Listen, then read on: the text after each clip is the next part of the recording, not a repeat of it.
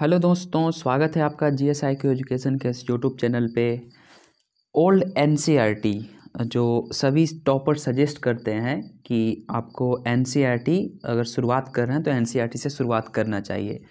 लेकिन old N C R T अभी market में ज़्यादातर हर एक शहर में उपलब्ध नहीं रहता है। इसलिए इस यूट्यूब चैनल के माध्यम से मैं आप लोगों को ओल्ड एन की जो भी बुक है, उसको मैं यहाँ पे पढ़ाने का कोशिश करूँगा। और ओल्ड एन जो है, ये एग्ज़ाम के लिए बहुत ही इम्पोर्टेंट होता है। क्यों इम्पोर्टेंट होता है? आप एक से दो चैप्टर जैसे ही पढ़ेंगे, उसके बाद से खुद ब खुद समझ में आ जाएगा।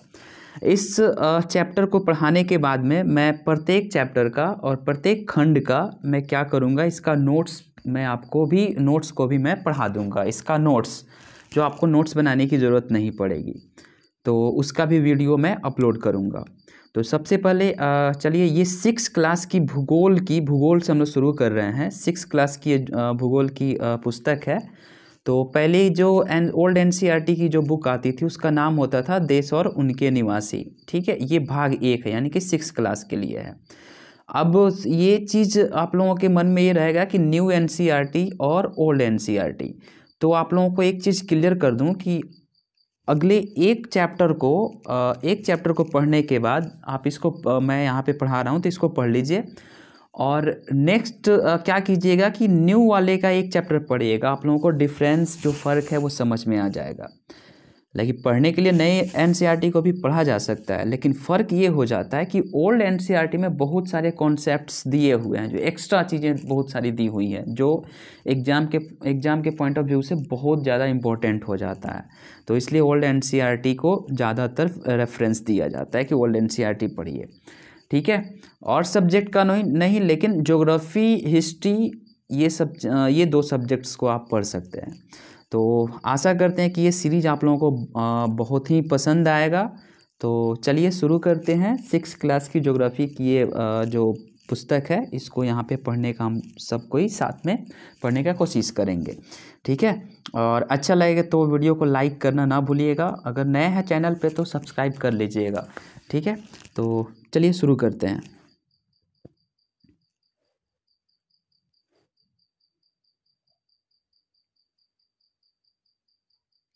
तो सबसे पहले हम यहाँ पे देख लेते हैं कि इसका पाठ सूची, ठीक है? इसका पाठ सूची हम लोग देख लेते हैं।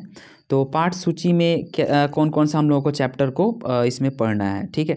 तो खंड एक में है हम, पृथ्वी हमारा ग्रह और इसके जो चैप्टर हैं, वो एक से पाँच तक पाँच चैप्टर दिए हुए हमारे सौर मंडल में पृथ्वी, ग्लोब और मानचित्र द्वारा ज्ञान, अक्षांश और देशांतर, पृथ्वी की गति और पृथ्वी के परिमंडल।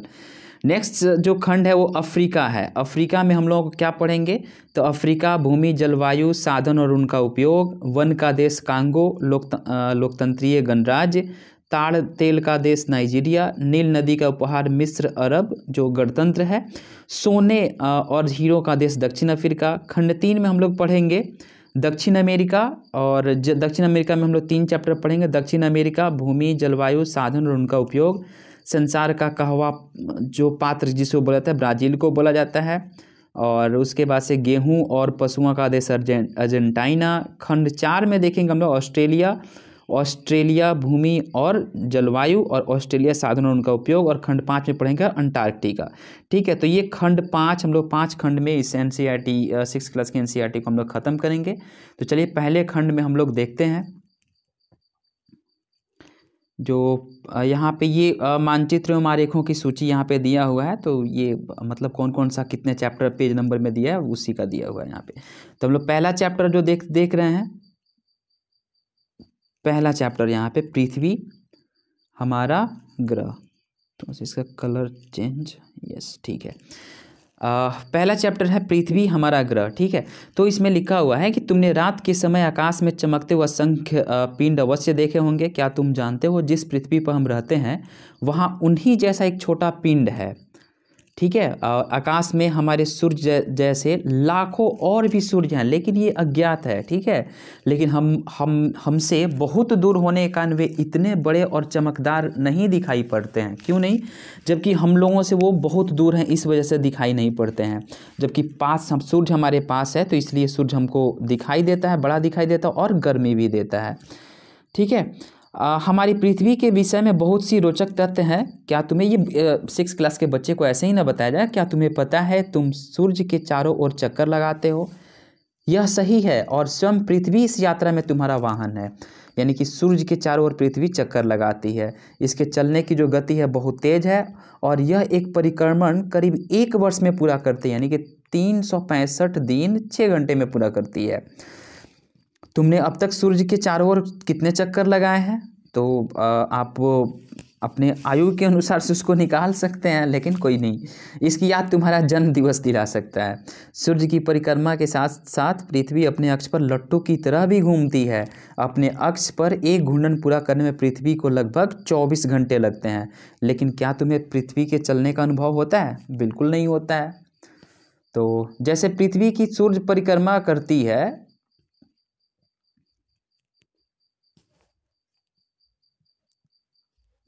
जैसे पृथ्वी सूर्य की परिक्रमा करती है, वैसे चंद्रमा भी पृथ्वी की परिक्रमा करती है। क्यों? क्योंकि चंद्रमा जो है वो पृथ्वी का उपग्रह है। उत्तरी और दक्षिणी ध्रुव पृथ्वी के दो महत्वपूर्ण बिंदु है, ठीक है? ये पृथ्वी हो गई तो ये नॉर्थ पोल हो गया, ये साउथ पोल, ठीक है? ये ध्रुव, नॉर्थ, उत्तरी ध्रुव और ये दक्षिणी ध्रुव, दोनों महत्वपूर्ण हैं। और पृथ्वी के मॉडल को ग्लोब पर अनेक काल्पनिक रेखाएँ खींची गई है। मतलब ग्लोब होता है ना, ग्लोब आप लोग देख सकते हैं, ठीक है? इस आकृति में होता है ग्लोब ये ग्लोब हो गया। मेरा ग्लोब थोड़ा टेढ़ा हो गया। नहीं, ये ग्लोब हो गया। ठीक है, ये पृथ्वी है। ठीक है तो इसको पृथ्वी का हम लोग क्या बोलते हैं? नमूना मानते हैं। ठीक है, और इस पर ये रेखाएँ काल्पनिक रेखाएँ इस पर खींची गई। ये इक्वेटर हो गया। उत्तर से दक्षिण और पूर्व से पश्चिम। उत्तर से दक्षिण और पूर्व से पश्चिम की ओर खींची गई है। और किसी भी स्थान, नगर, देश, पर्वत, शिखर आदि की स्थिति हम लोग इसी रेखाओं के माध्यम से माना जानते हैं। ठीक है भूमि, जल और वायु पृथ्वी के तीन महत्वपूर्ण मंडल है परिमंडल है। पेड़, पौधे, पशु, पक्षी और मनुष्य सभी सहित सभी जीव केवल उसी क्षेत्र में जीवित रह सकते हैं, जहाँ भूमि, जल और वायु एक दूसरे के संपर्क में आते हैं। पृथ्वी का एक चौथा परिमंडल भी है, जो अन्य तीन परिमंडलों की तुलना में सबसे छोटा है। परंतु हम सबके लिए यह बहुत ही महत्वपूर्ण है, क्योंकि इसे हम लोग क्या बोलते हैं? जैव मंडल के नाम से जानते हैं। नेक्स्ट देखते हैं। तो यहाँ से अध्याय एक चालू होता है, एक शुरू होता है हमारे सौर मंडल में पृथ्वी, ठीक है? तो यहाँ पे कुछ परिभाषिक शब्द दिया गया है, जैसे कि तारा किसे कहते हैं?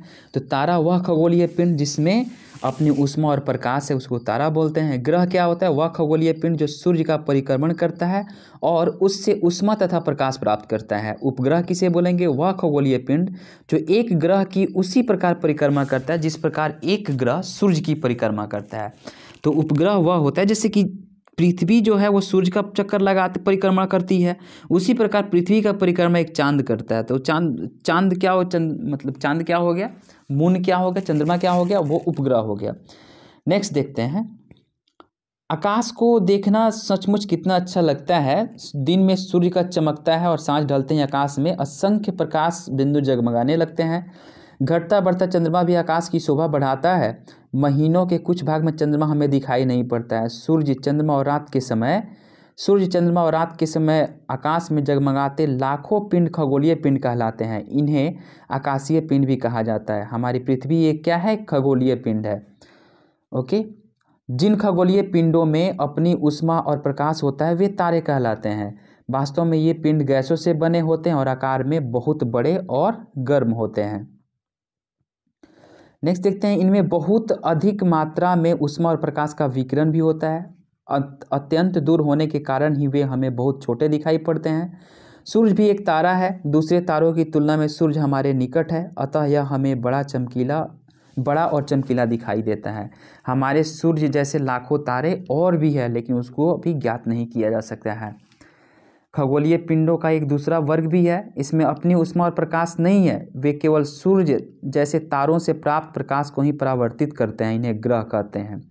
खगोलीय पिंड का एक दूसरा वर्ग है, जिसमें सूर्य अपनी जैसे, सूर्य की जैसे उष्मा और प्रकाश नहीं है, लेकिन वो क्या सूर्य के द्वारा वो उष्मा और प्रकाश को प्राप्त करते हैं, जिसे ग्रह कहते हैं। ग्रह के लिए अंग्रेज़ी में प्लैनेट शब्द है, जिसका अर्थ है घूमने वाला।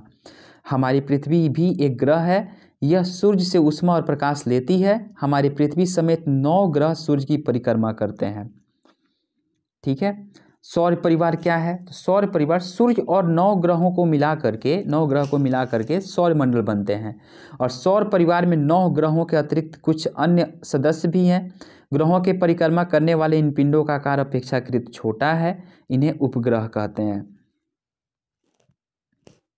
नेक्स्ट देखते हैं।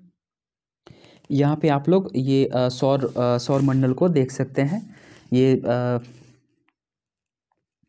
यहाँ पे प्लूटो नेपचून शनि बुध यहाँ बीच में सूर्य है। सूर्य के बाद सूर्य बुध ठीक है? ये पृथ्वी यहाँ पे ये आ, मंगल यूरेनस बृहस्पति ठीक है? तो ये मतलब ये सौर मंडल का है ठीक है? आगे देखते हैं सूर्य। सूर्य सूर्य क्या है? तो सूर्य सूर्य सौर परिवार के केंद्र में स्थित है। यह सौर परिवार का सबसे बड़ा सदस्य है। हमारी पृथ्वी से तो यह दस लाख गुना बड़ा है। हमारी पृथ्वी से दस लाख गुना बड़ा है। सूर्य अत्यंत गर्म गैसों से बना है। यह पूरे सौर परिवार के लिए ऊर्जा अर्थात उष्मा और प्रकाश का स्रोत है। इस ऊर्जा के बिना पृथ्वी बिल्कुल ठंडी और निर्जीव हो जाएगी। सूर्य पृथ्वी से लगभग पंद्रह करोड़ किलोमीटर दूर है। प्रकाश की गति लगभग तीन लाख किलोमीटर प्रति सेकेंड है। इतनी तेज गति से चलते हुए भी सूर्य का प्रकाश लगभग आठ मिनट में पृथ्वी पे पहुँच पाता है। ग्रह क्या है? तो ग्रह का यहाँ पे डेफिनेशन दिया हुआ है। हमारे सौर परिवार में नौ ग्रह हैं। सूर्य के दूरी के अनुसार उनका क्रम इस प्रकार है। बुध, शुक्र, पृथ्वी मतलब सूर्य के सबसे नज़दीक कौन सा है? बुध है, फिर शुक्र है, फिर पृथ्वी है, फिर मंगल है, फिर बृहस्पति है, शनि, यूरेनस नेपचून और प्लूटो। इस प्रकार सूर्य के निकट, सबसे निकट जो है वो बुध है और प्लूटो जो है वो सबसे दूर है।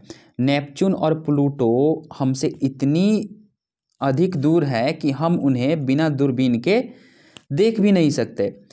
ये चित्र में ऊपर जो मैंने दिखाया उसमें दिया गया है। ग्रहों में बृहस्पति सबसे बड़ा है, सबसे छोटे ग्रह का जो यहाँ पे वो मतलब नाम बताने के लिए पूछा गया है, ठीक है? पृथ्वी से छोटे ग्रह कौन कौन से हैं, उसको आप लोग कॉमेंट सेक्शन में बता सकते हैं। क्षुद्र ग्रह क्या होता है? तो मंगल मंगल और बृहस्पति के बीच में अनेक छोटे पिंडों के झुंड। एक बार मैं यहाँ पे दिखा देता हूँ, मंगल और बृहस्पति के बीच में ये मंगल और बृहस्पति के बीच में छोटे छोटे जो है ना, ये छोटे छोटे मंगल और बृहस्पति के छोटे छोटे जो अनेक पिंडों का जो झुंड है, वो भी सूर्य का परिक्रमा करता है और इसलिए उसे क्षुद्र ग्रह के नाम से जाना जाता है। ठीक है? ऐसा विश्वास है कि क्षुद्र ग्रह उस ग्रह के टुकड़े हैं जो अपने जन्म के बाद विस्फोट के कारण निखर गया था। सौर परिवार के सभी नौ ग्रह सूर्य की परिक्रमा करते हैं। इनके परिक्रमा पथ जो है, वो दीर्घवृत्ताकार है, जिन्हें कक्षा कहते हैं। परिक्रमा करते हुए उन सबकी दिशा एक ही रहती है। सभी ग्रह अपने अक्ष पर भी घूमते हैं। शुक्र और यूरोनस को छोड़कर अन्य सभी ग्रहों के घूर्णन और परिक्रमण की दिशा एक ही रहती है। जैसे जैसे सूर्य से ग्रहों की दूरी बढ़ती जाती है वैसे वैसे उनके परिक्रमण का समय भी बढ़ता जाता है। देखते हैं आगे कि सूर्य की सबसे निकट बुध जो है, बुध जो है वो सूर्य के सबसे निकट है, अतः उसे सूर्य का एक चक्कर लगाने में अट्ठासी दिन लगते हैं। इसके विपरीत सूर्य से सबसे दूर होने के कारण प्लूटो को इसकी एक परिक्रमा करने में लगभग दो सौ अड़तालीस वर्ष लगते हैं। हमारी पृथ्वी सूर्य का एक चक्कर तीन सौ पैंसठ दिन और छः घंटे में पूरा करती है। ग्रहों द्वारा प्राप्त उष्मा की मात्रा ग्रह ग्रहों द्वारा प्राप्त उष्मा की मात्रा ग्रह की सूर्य से दूरी सूर्य से दूरी की दूरी पर निर्भर करती है। बुध सूर्य के सबसे निकट है, इसलिए उसे सूर्य से सबसे अधिक गर्मी मिलती है। सूर्य से अधिक, सबसे अधिक दूरी पर प्लूटो प्लूटो है, इसलिए यह सौर परिवार का सबसे ठंडा ग्रह है। दूसरे शब्दों में, जो ग्रह सूर्य के जितना निकट है, उसका तापमान भी उतना अधिक है। यहाँ पे बोला जा रहा है, क्या तुम कल्पना कर सकते हो कि यदि पृथ्वी सूर्य के सबसे अधिक निकट होती या फिर सबसे अधिक दूर होती तो क्या परिणाम होता? तो आप लोग बता सकते हैं। ऐसा अनुमान है कि यदि सूर्य की उष्मा केवल दस प्रतिशत बढ़ या घट जाए, ऐसा अनुमान किया जाता है कि सूर्य की उष्मा केवल दस प्रतिशत बढ़ जाए या घट जाए तो पृथ्वी का अधिकांश भाग एक गर्म मरुस्थल या बर्फीले ठंड, ठंडे मरुस्थल में बदल जाएगा। यानी कि जब गर्म हो जाए मतलब दस परसेंट ज़्यादा अगर बढ़ जाए उस सूर्य की उष्मा तो एक पृथ्वी का जो अधिकांश भाग जो होगा वो मरुस्थल हो जाएगा और सूर्य की उष्मा दस प्रतिशत कम हो जाए तो बर्फीले ठंड मरुस्थल में बदल जाएगा। पृथ्वी पृथ्वी क्या है? पृथ्वी हमारा ग्रह है तो देखते हैं। तो पृथ्वी पृथ्वी हमारा ग्रह है, सूर्य से दूरी के क्रम में इसका स्थान तीसरा है। आकार की दृष्टि से पृथ्वी का स्थान पाँचवा है। दूसरे ग्रहों के समान पृथ्वी भी एक गोला है, किंतु ध्रुवों पर यह कुछ चपटी है। आकार और बनावट में पृथ्वी शुक्र के समान है, लेकिन इसमें एक अनोखापन भी है। अब तक प्राप्त जानकारी के अनुसार सौर्य परिवार में पृथ्वी एक ऐसा ग्रह है जहाँ जीवन है। जलवायु की उपयुक्त दशाओं के कारण ही पृथ्वी पर ऐसा हो सका है। पृथ्वी पर जल जल और वायु की उपस्थिति से ही जीवन संभव हुआ है। अंतरिक्ष यात्रियों ने पृथ्वी को अंतरिक्ष से देखा है और उनका कहना है कि पृथ्वी नीली दिखाई देती है। इसके नीले देखने के कारण जो है वो इसके नीले देखने दिखने का जो कारण पानी है, इसे इसे नीला ग्रह कहते हैं। पृथ्वी को नीला ग्रह क्यों कहते हैं? क्योंकि इस पर पानी की अधिकता, जल की अधिकता होने के कारण अंतरिक्ष से पृथ्वी नीली दिखाई देती है, इसीलिए इसको नीला ग्रह कहते हैं। उपग्रह क्या होता है? तो उपग्रह को हम लोग अंग्रेज़ी में सैटेलाइट कहते हैं, जिसका अर्थ होता है साथी या सहचर। अपने साथ को सार्थक करते हुए ये उपग्रह अपने ग्रहों की परिक्रमा करते हैं और उनके साथ ही साथ सूर्य के इर्द गिर्द भी चक्कर लगाते हैं। उदाहरण के लिए चंद्रमा पृथ्वी का उपग्रह है। यह पृथ्वी की परिक्रमा करने के साथ ही साथ ही सूर्य की भी परिक्रमा करता है। अब तक हमारे सौर परिवार में चौवालीस उपग्रहों की खोज हो चुकी है। बुध और शुक्र को छोड़कर शेष सभी ग्रहों के एक या एक या उससे अधिक उपग्रह, यानी कि बुध और शुक्र को छोड़ करके। ठीक है? इनके पास कोई उपग्रह नहीं है। ग्रहों की ग्रहों की भांति उपग्रहों में भी अपना प्रकाश नहीं है। यह उपग्रह भी सूर्य से प्राप्त प्रकाश को ही परावर्तित करते हैं। चंद्रमा जो है, वो चंद्रमा जिसको पृथ्वी का सहचर यानी पृथ्वी का सहचर जिसको पृथ्वी का एक सैटेलाइट है, हमारा पृथ्वी का केवल एक ही उपग्रह है, जिस चंद्रमा। चंद्रमा का व्यास पृथ्वी के व्यास का लगभग एक चौथाई है। पृथ्वी से बहुत पास होने के कारण यह इतना बड़ा दिखाई देता है। पृथ्वी से चंद्रमा की दूरी लगभग तीन लाख चौरासी हज़ार किलोमीटर है। चंद्रमा द्वारा परावर्तित प्रकाश हमें सवा सेकेंड में पहुँचता है।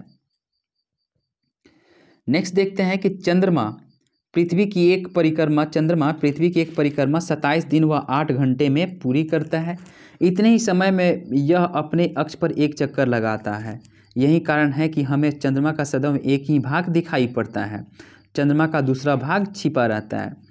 पिछले दशकों में चंद्रमा के बारे में बहुत अधिक जानकारी प्राप्त हुई है। कुछ लोग अंतरिक्ष यानों द्वारा चंद्रमा पर हो आए हैं। चंद्रमा के धरातल के बारे में उन्होंने कई जानकारियाँ दी हैं। अब हम जानते हैं कि चंद्रमा पर न तो जल है, न न ही वायु। यह दिन में बहुत अधिक गर्म और रात में बहुत अधिक ठंडा रहता है। इसका धरातल असमतल है और उस पर मिट्टी भी नहीं है। ब्रह्मांड में पृथ्वी को देखते हैं। तो ब्रह्मांड में यह पृथ्वी जो है, वो इतनी बड़ी दिखाई पड़ती है। यह पृथ्वी जो हमें इतनी बड़ी दिखाई पड़ती है, इस विशाल अंतरिक्ष में छोटे कण जैसी है। यह सौर परिवार का एक सदस्य मात्र है। लाखों तारों के समूहों को मंदाकिनी कहते हैं। हमारी मंदाकिनी का नाम आकाशगंगा है। संपूर्ण ब्रह्मांड में शायद लाखों मंदाकिनियाँ हैं। इस ब्रह्मांड की विशालता की कल्पना करना बहुत ही कठिन है। ब्रह्मांड में परस्पर इतनी अधिक दूरियाँ हैं कि उन्हें समझ पाना आसान नहीं है। सूर्य के सबसे निकटवर्ती तारे जो प्रॉक्सीमा सेंटोरी के नाम से जाना जाता है, उसका प्रकाश हम तक लगभग चार वर्ष में पहुँच पाता है। कुछ तारों के प्रकाश को हम तक पहुँचने में संभवतः लाखों वर्ष लगते हैं। इनके अतिरिक्त ब्रह्मांड में ऐसे भी असंख्य तारे हैं जिनका प्रकाश अभी रास्ते में ही है और हम तक पहुँच नहीं पाया है। ठीक है, यहाँ पे हमने जो नवीन पारिभाषिक शब्द जो हमने इस पाठ में देखा क्षुद्र ग्रह क्या होता है? तो मंगल और बृहस्पति के बीच असंख्य पिंडों का झुंड जो सूर्य की परिक्रमा करता है, उसे क्षुद्र ग्रह कहते हैं। मंदाकिनी किसे बोलेंगे? तो लाखों तारों का समूह को हम लोग मंदाकिनी बोलेंगे। यहाँ पे क्वेश्चन दिया हुआ है एन e की, अगर आप लोगों के पास ओल्ड एन e की बुक होगी तो आप इस क्वेश्चन को भी देख सकते हैं और इसको मिला सकते हैं, मिलान कर सकते हैं। यहाँ पे कुछ आंसर है, ये भौगोलिक कुशलता है मतलब इसको करने के लिए दिया गया है तो इसको भी आप लोग बना सकते हैं। चलिए आज इस लेक्चर में एक ही चैप्टर, फिर नेक्स्ट चैप्टर हम लोग करेंगे ग्लोब और मानचित्र द्वारा ज्ञान, ठीक है?